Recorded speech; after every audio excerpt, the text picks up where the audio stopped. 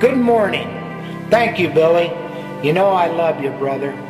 I also want to thank all of you for being here today. I'm both humbled and honored to be up here this morning.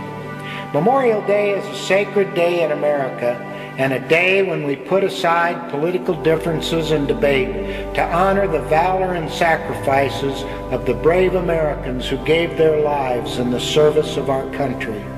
It's heartwarming to see so many of you here today. I would like to acknowledge everyone here who has served our great nation or is currently serving now. A very grateful nation salutes you. Samuel Adams, known as the father of the American Revolution, said, The liberties of our country, the freedom of our civil constitution are worth defending at all hazards, and it is our duty to defend them.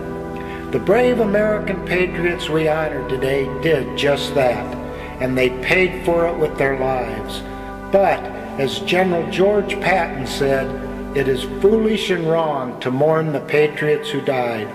Rather, we should thank God such patriots lived. Freedom is never free. I would rather die for liberty than live under tyranny. So when I heard my country ask, whom shall I send and who will go for us? I said, Here I am, send me. Who am I?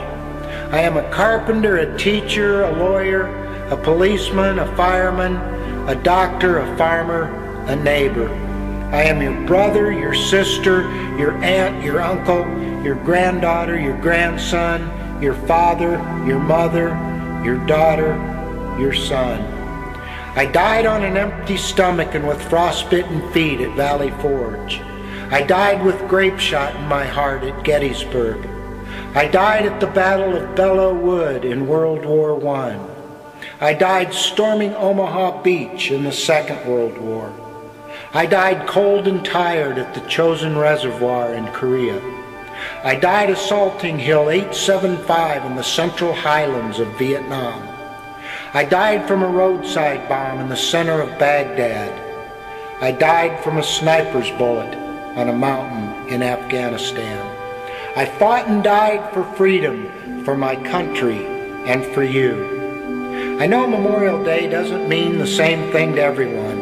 To some, it means the end of school, the beginning of summer, family picnics, parades, and the Indy 500.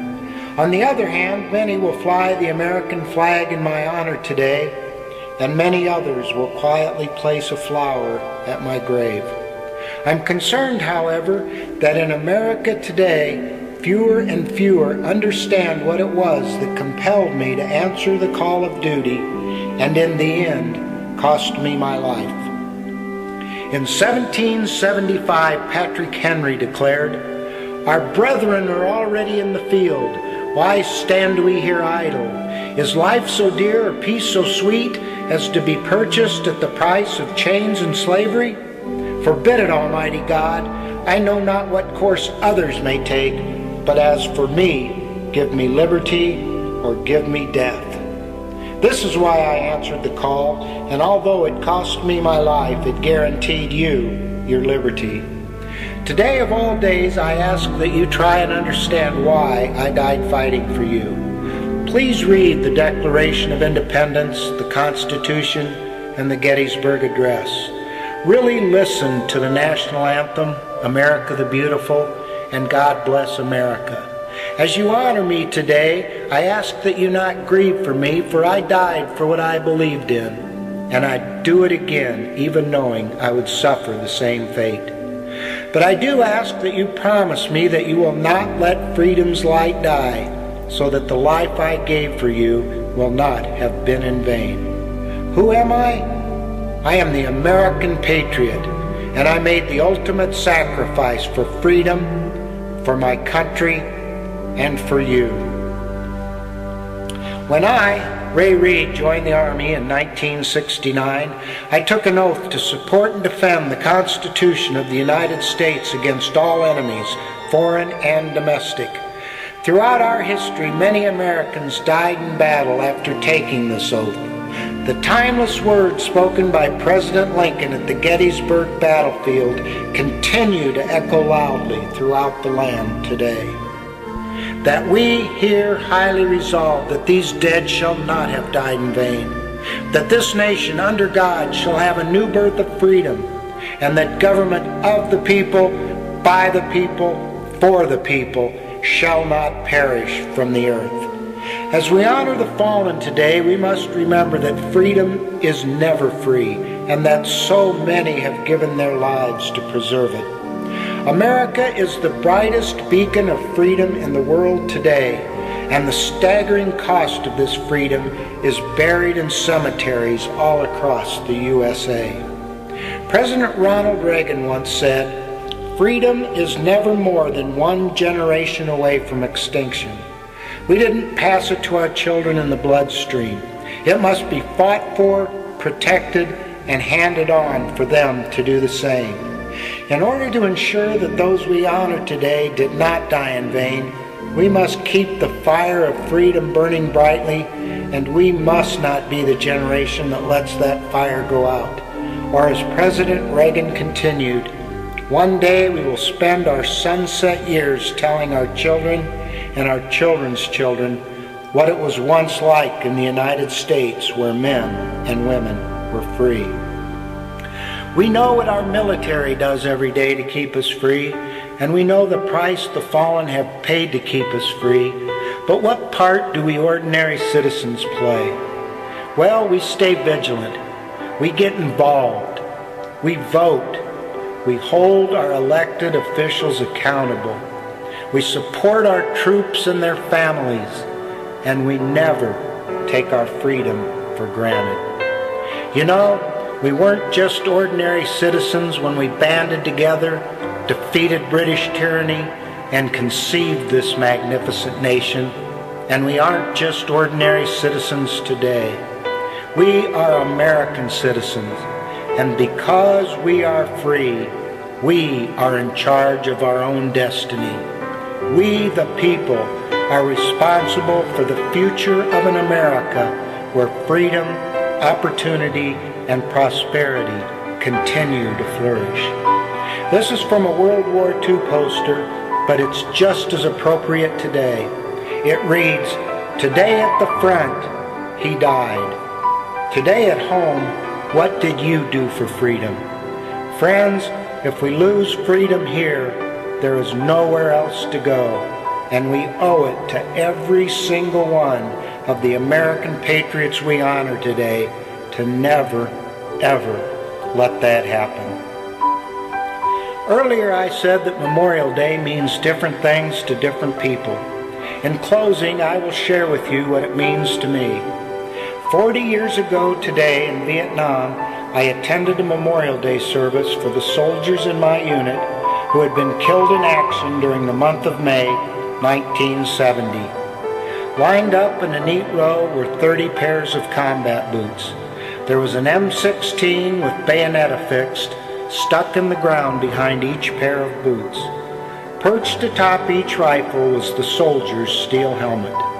In a war zone memorial service like this, the helmet signifies the fallen soldier the inverted rifle with bayonet signals a break in the action and a time for prayer. And the boots represent the final march of the last battle. As the brigade chaplain slowly walked down this row of battle crosses, solemnly reading the names of our fallen brothers, young men hardened by war openly wept.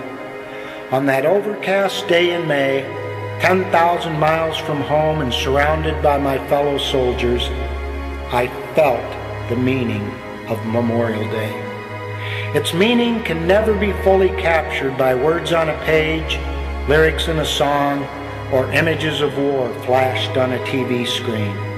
No, its real meaning carves out a place in the heart with memories that can still wake you up in the middle of the night 40 years later. Memories like this one left by a nurse at the Vietnam Veterans Memorial Wall. Her war was Vietnam, but her story and her fallen hero can be found in every one of America's wars. My name is Dusty. I did two tours in Vietnam. One night I sat up with a 19-year-old Marine named David. He had been critically wounded saving the life of another. His kidneys had been removed and he and I both knew the unspoken truth. He would not make it through the night. This is my gift to his memory. Hello, David. My name is Dusty. I'm your night nurse. I will stay with you. I will check your vital signs every 15 minutes. I will document inevitability. I will hang more blood. I will give you something for your pain, and I will do my best to comfort you. Yes, of course, I will write your mother and tell her you were brave. I will write your mother and tell her how much you loved her. I will write your mother and tell her to give your bratty kid sister a big hugging kiss. I will stay with you and I will hold your hand. I will stay with you and watch your life flow through your fingers into my soul. I will stay with you until you stay with me. Goodbye, David. My name is Dusty. I'm the last person you will see. I'm the last person you will touch and I'm the last person who will love you. So long, David. I promise you will not be forgotten. The Bible tells us there is no greater love than to give your life for another. Our fallen comrades have demonstrated that love for us. Just think about that for a moment. Brave Americans, most of whom did not know us personally, nor we them, gave their precious lives so we could be free. In a few minutes, taps will be played, and like many of you, a tear will most likely come to my eye. Every time I hear taps, that Memorial Day in Vietnam immediately comes to mind, and I think of a poem by Walt Whitman about two soldiers killed in battle, a father and his son, who are buried next to each other. Standing at their graves, he writes, The moon gives you light, and the bugles and the drums give you music. And my heart, O oh my soldiers, my veterans, my heart gives you love. This, to me, is what Memorial Day is all about.